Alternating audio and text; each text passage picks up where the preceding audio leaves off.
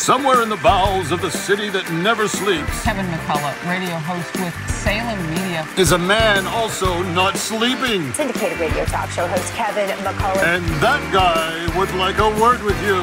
Many of you know him as Voxtradamus. Of course, that Kevin show is going to be great. The only thing that could be greater, of course, would be that Donald show. But we don't have that, so we have that Kevin show. Featuring the music of Dick Tunney and the Dream in Color Orchestra.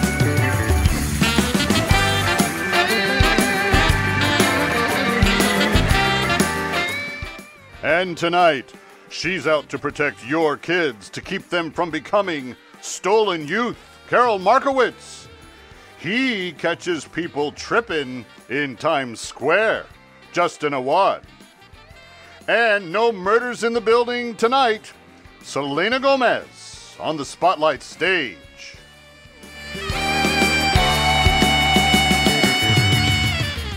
And now, from Times Square, where Mayor Adams admitted no end in sight for his late night boogie, here's that Kevin.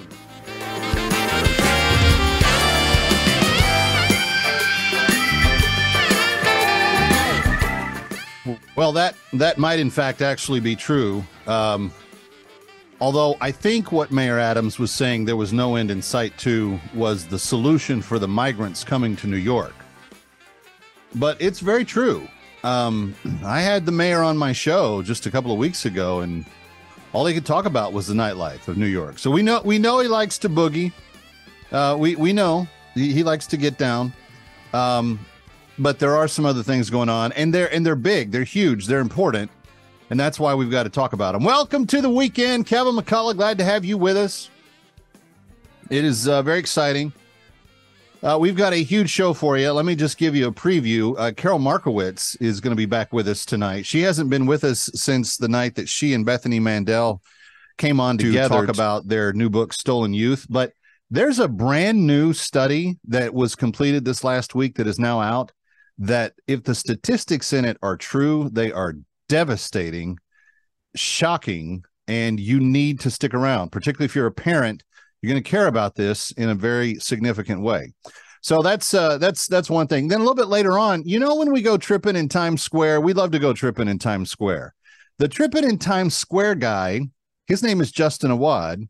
I've been trying to get him on the show forever. He's he finally agreed in his very busy uh, state of things.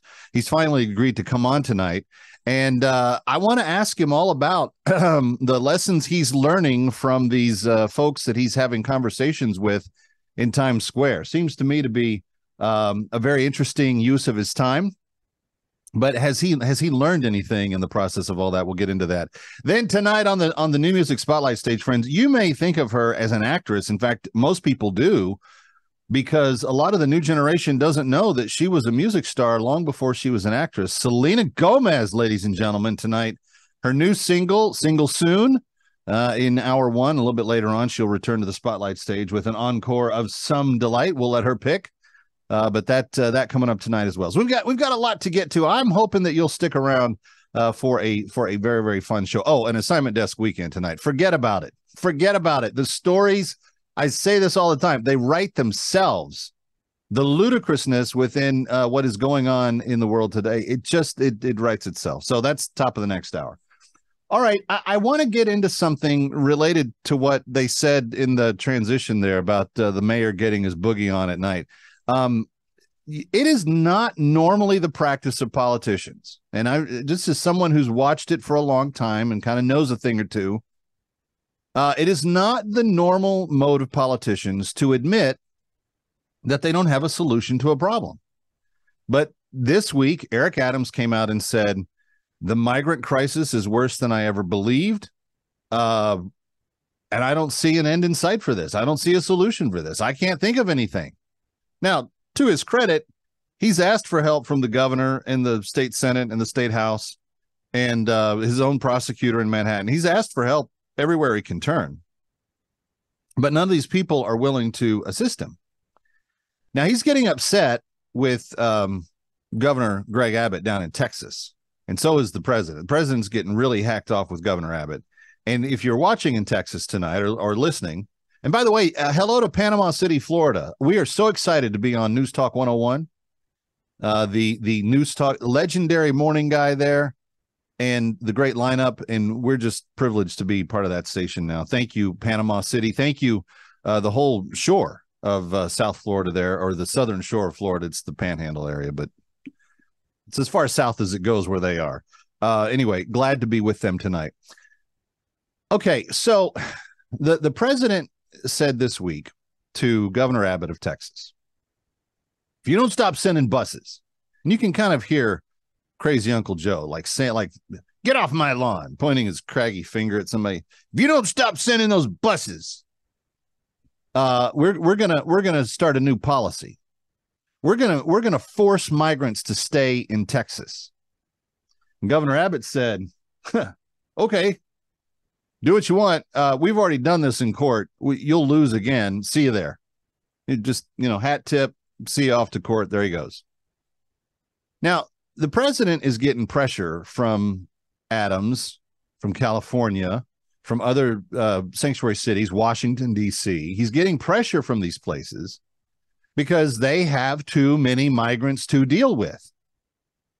And the problem with that is that if they didn't have a policy on the record as saying we're going to welcome every migrant that walks through our door, then they wouldn't be in trouble. But because that's what they campaigned on, because that's what they promised they would do, now they're now they're made to look like hypocrites because they're either making their base mad, which wants all migrants to come in and be given amnesty and citizenship and start voting right away, or the other side that will use it against them and say, "No, you broke your promise. You you you didn't do what you said you would do, etc." They're they're in a no-win situation. So that's why Mayor Adams is like, "I don't see a solution." President Biden, you got to do something about it. And they're also trying to do this. They're also trying to say that Texas is a bad place because it's sending migrants to them. Now let's go back to the genesis of how this all started. We didn't have these massive influx of migrants uh, three years ago because the border was closed, the border wall was being built, and the policy on allowing migrants into the U.S. was humane and legal. It is no longer humane and it is not legal what they what they have been doing for the last three years. So now the challenge is this how do you deal with all of these people that keep coming? Well texas has a law that says it's not going to be a sanctuary for people that come illegally. If it's up to texas they're going to turn everyone back to mexico because they're going to say unless you have your papers unless you've gone through the process you're not allowed to come in. We're not going to have you come in because you didn't go through the, the, the process. Now i can hear some of the people on the left right now just heads exploding. How dare they? How dare they? But Greg Abbott says, well, okay, so there's people in other parts of the country that disagree with us. How about if we just send them the migrants? California is a sanctuary state. They made the whole state a sanctuary. New York City, sanctuary city, proud of it, loud, to say it out loud. Washington, D.C., same thing. We're going to take migrants no matter who. They, okay, fine. Governor Abbott says we'll send you as many as many um as many migrants as you can handle and more because we don't have the policy. Now, friends, if you live in New York City or Washington, D.C., or the state of California tonight and you're frustrated about this, you know what you need to do? You need to write new laws, elect different people, and have different policies. You ninnies keep putting the same people in charge, and then they do this stuff, and now your cities are overflowing. Now your uh, streets are crowded. Now you have higher crime rates. Now you have problems near local public schools. Stop electing the morons. Start putting people in office that actually listen to you and write laws that respect you. Until then, get used to having shipments coming your way because it's not their laws, it's your laws that allow it. Kevin McCullough coming right back. A huge show straight ahead. Don't turn that dial.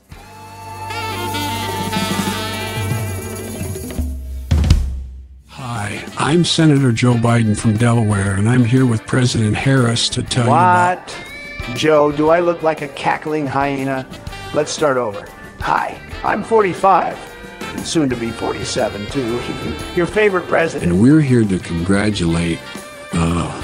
Wait, who who are we congratulating? Joe, we've been over this. We're here to congratulate a great radio station on picking up that Kevin show Saturday nights at But 9 I'd o'clock. rather fall off my bike at Brandon Falls than tell people about that Kevin show. You know that's not a real place, right?